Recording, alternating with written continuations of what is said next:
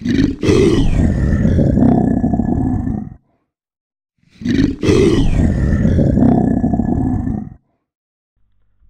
everybody, and welcome back to the show. It's been a couple of days since the last recording, and you know we had a guess at what battle tomes are to come. I know one or two of them are probably never going to happen, but uh, it, was, it was, you know, it was a nice, fun video. I thought, and uh, I'm thankful for everybody that's uh, seen it. But we don't need to guess we know when the general handbook is dropping and it's up for pre-order next week. So as of today we've had an article drop and we've had a video drop from Games Workshop saying about the general's handbook and what's to be expected in it. So we're just going to have a quick look and break down the little facts that we know and show you guys what uh, what's to come basically and what we got to enjoy. So without further ado, let's get straight into it. Right then guys, before we even start, it looks like GW have uh, walked back the video that was on their uh, YouTube channel because I went just now to double check it and as of this moment it looks like it's been removed. Don't know whether uh, it was released a little bit too early. It should have been like a midweek drop, but it's not showing. So I don't know whether many of you had seen it, and I don't know whether a few of you were like holding on to it, but it's it's not there now. So I said we had the video to go on. We've just got the article. So what do we do know about the General's Handbook is GW have stated that to, for like ease for the users, they've split the General's Handbook into two books. So it's going to be the General's Handbook, which is going to be doing the the missions and the plays, and we're going to have the pitched battle profiles. So it's good that they split that up because if you don't need to take pitch battles or you just need to take that and you don't need to take the other one, you've got the copy split um keep one safe.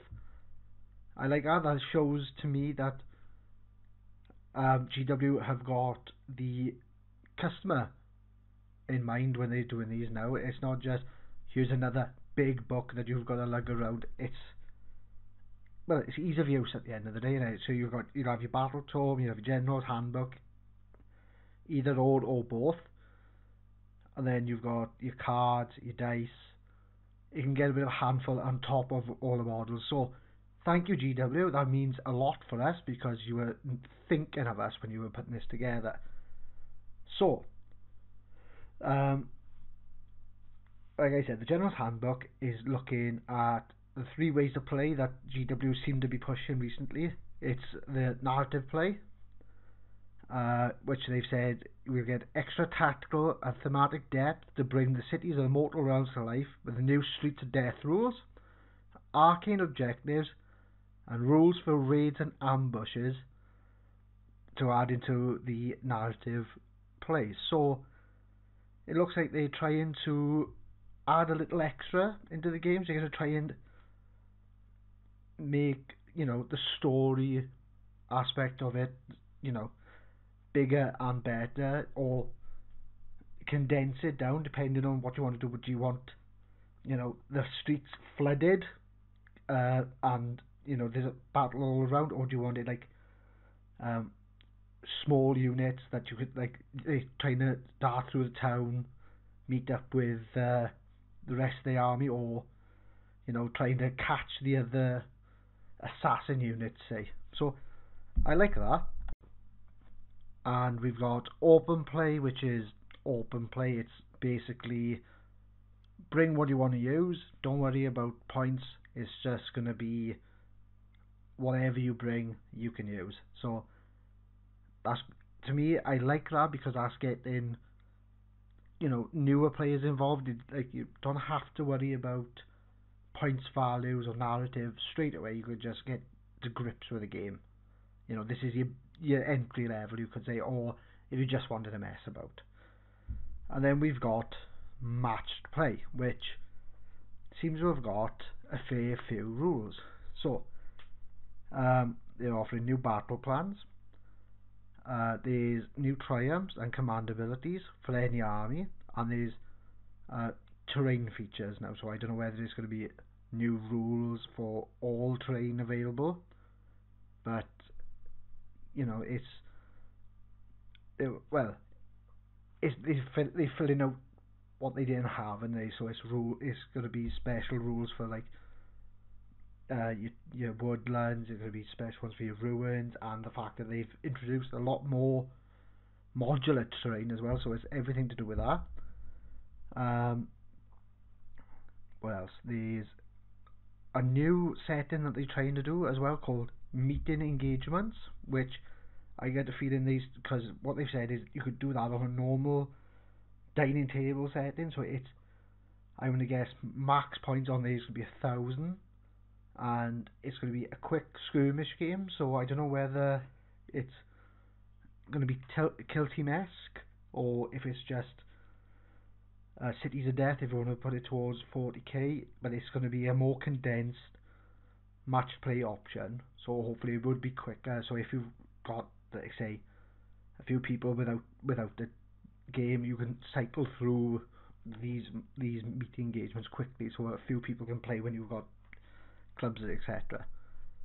Um, the General's Handbook also contains allegiance abilities for several factions with expanded rules for Ironjawz, Seraphon, Wanderers, Darkling Covens, Free People, Slave to Darkness, and Dispossessed. So, it looks like they've gone back and looked at Ironjawz and Seraphon. Like I've said in my previous video, I wanted them to have a battle tome, but it looks like they're making a start for them in.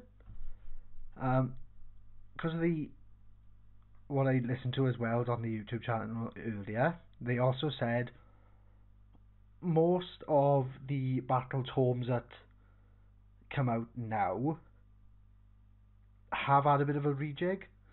So it's going to be the points wise. So we'll see the benefits in the next book that I'm going to talk about. So so let's look at that then, which is going to be the pitched battle profile. So what this is going to be is a separate book and it's got all the new 2019 2020 start um, all the new points values for each unit, uh, equipment, etc. So, if you like your, your units built in, this is your up-to-date version. I'm not quite sure whether it's going to get an automatic update on the AOS app because if you buy your battle tomes on there, you want it up to date. So I don't know whether you're going to get access to General's Handbook on there or if it's going to be automatic. We will see further on into the week. But like I said, uh, Gloomspite gets, um, I think Skaven, Flesh Eater Court, Blades of Khorne are going to get new points values. And I can't remember if I'm missing one, but I know those four that have been released this year already are getting a rejig because they were done after well they were released before this was finished. So you know it's obviously they needed balancing quickly. So well done GW got it out there straight away ish.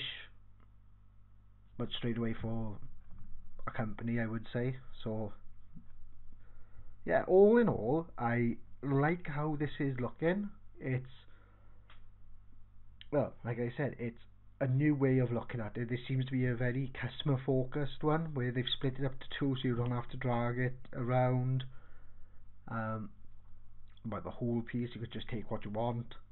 Um, hopefully, we'll get automatic updates on uh, the AOS app, but uh, the new battle plans, etc., will you would have to pay for. So I'm looking forward to this. I really am. The only thing I'm going to say is a little bit excessive is is the fact that there's a Warlord edition. So if this was a computer game, we'd probably be a little bit up in arms because the general handbook is like extra DLC, and then on top of that, you can get the special edition DLC for your main game. So I see this as excessive. But do you guys agree? Is this too much? Is it what you guys like to collect? Is do you not see any problem with this? Um, let me know. Um, because to me, a special edition expand expansion would be a little bit much. It's oh, I don't, I don't know. Perhaps I'm cheap. Perhaps I'm too cheap for the uh, the hobby. But it is what it is, and it, uh, this hobby attracts everyone. So I speak for the uh, I speak for the the cheap minority, as it were. Then, but while we got it up on screen, uh, the general the Warlords edition, sorry, not the not the general edition. The Warlords edition, you get extra markers. You've got um, terrain markers, mystic shield markers, deadly terrain markers, um, tokens, uh, star star strike markers, rulers, you name it. It's in the pack. Also, you've got little cards for uh, hidden agendas. You've got um, what mercenary companies. You've got objectives. It's it's got everything, so you wouldn't have to like keep flicking through the book. You've got it all in your cards, which will probably save you a lot of time and rule checking. So if this is your thing, I completely don't understand really if you know if this is what you want to spend your money on and as well as the models. It's up to you. Enjoy. To me, I will be sticking with the the basic expansion, which is going to be just the General's Handbook. I don't need anything else. So let me get let me know what you think, guys. Do you uh, do you agree with what I say? If it's a bit too much or not?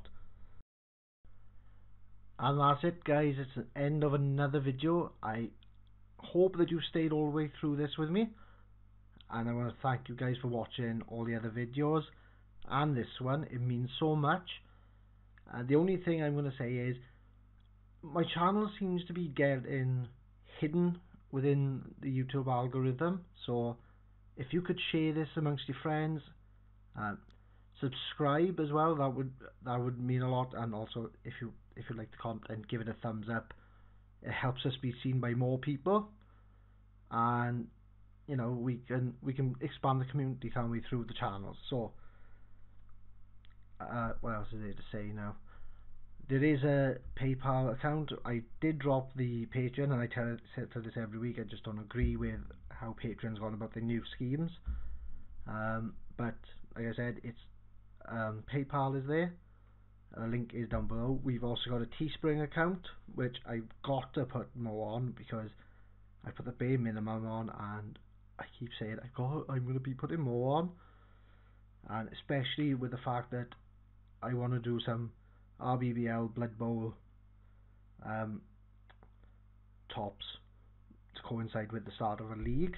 So that will be coming in September. So I hope you guys will enjoy that content as well. And yeah, it's just um, trying to fit in as much as I as much as I can on this channel because it just it's you know between work, hobbying, and video editing, it's just so much to do in so little time. So um, yeah, like I said, guys, if you enjoy it, uh, like, share, subscribe. It means the world to us. And yeah, now I'm definitely going, and I shall see you in the next video.